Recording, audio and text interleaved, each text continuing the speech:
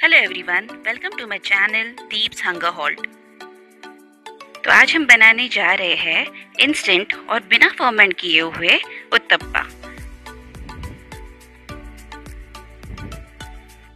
और इसमें लगने वाली सामग्री है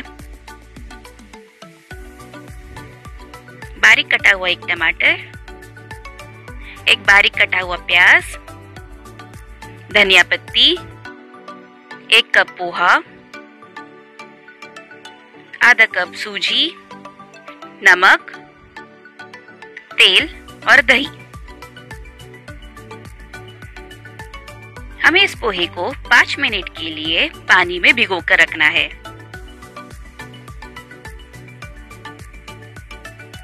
ताकि वो नरम हो पाए।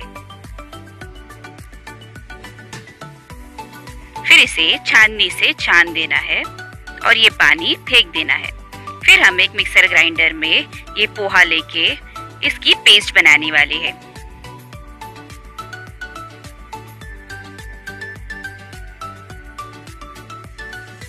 थोड़ा सा पानी ऐड करना पड़ेगा हमें यहाँ पे, ताकि पेस्ट अच्छी तरीके से बन पाए।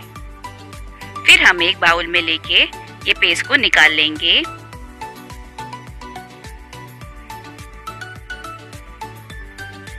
इसमें आधा कप सूजी ऐड कर लेंगे।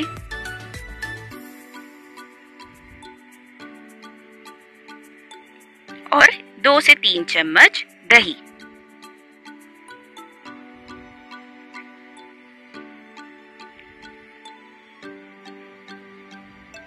और स्वाद अनुसार नमक। फिर हमें यहाँ पे एक से डेढ़ कप पानी ऐड करके इसे अच्छी तरीके से मिला लेना है।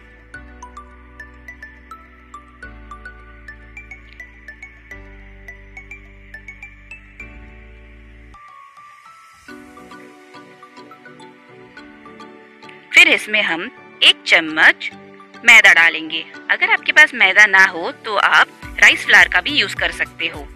और फिर इसे अच्छी तरीके से मिला लीजिए। और इसे 10 मिनट के लिए रेस्ट करने रख देना है। अब हम एक पैन में थोड़ा सा वन टीस्पून ऑयल डाल के उसे चारों तरफ़ स्प्रेड कर देंगे। इसमें ऑयल का यूज़ ज़्यादा नहीं करना है। फिर हमने जो डोसा का बैटर बनाया है। उसे एक चम्मच लेके इसमें थोड़ा सा डाल देंगे।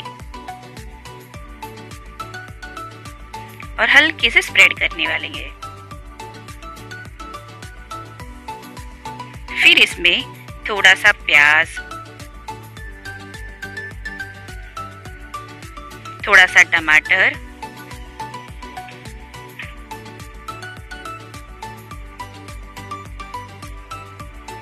और थोड़ी सी धनिया पत्ती डाल देंगे। और इसे पाँच मिनट तक हल्के फ्लेम में पक लेंगे।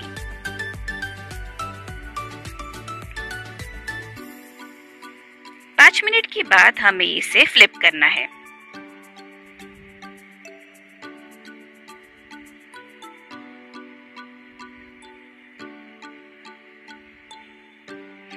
फिर पाँच मिनट के बाद ये हो गया हमारा अनियन इंस्टेंट उत्तपम रेडी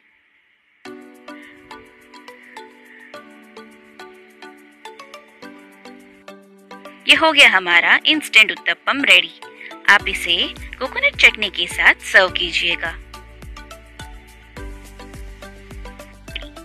अगर आपको मेरी रेसिपी पसंद आई हो तो लाइक कीजिए शेयर कीजिए और सब्सक्राइब कीजिए। और बेल आइकन दबाना मत भूलिएगा, ताकि आपको मेरे आने वाली रेसिपी के बारे में अपडेट्स मिलती रहे।